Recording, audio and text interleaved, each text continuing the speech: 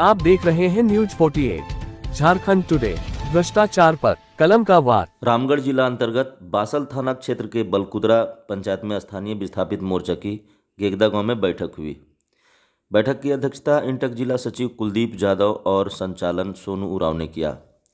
स्थानीय विस्थापित मोर्चा ने कहा कि पीएलआर कंपनी जब तक काम नहीं देगी, कोयले का एक भी छटाक बाहर नहीं जाने देंगे। रामगढ़ से तन्नू कुमार उपाध्याय की रिपोर्ट।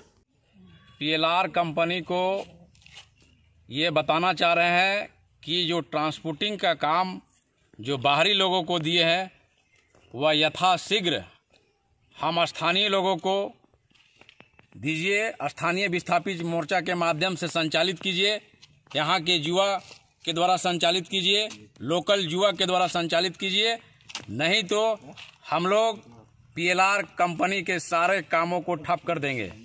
हमारा इस क्षेत्र में जब कोयला नहीं था, जिस समय हमारा ये खेती बाड़ी होता था, उस समय हमारा स्थानीय लोग सारा मेहनत करके इस मिट्टी में उपजाऊ करके खेती करता है, अनाज उत्पादन करता है।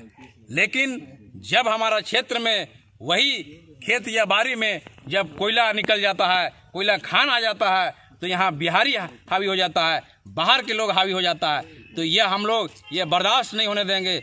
बाहरी लोगों को यहाँ पर किसी भी प्रकार के खदान में कोई भी काम को संचालित नहीं करने देंगे। हमारा हक है, हम लोग यहाँ पर संचालित करेंगे।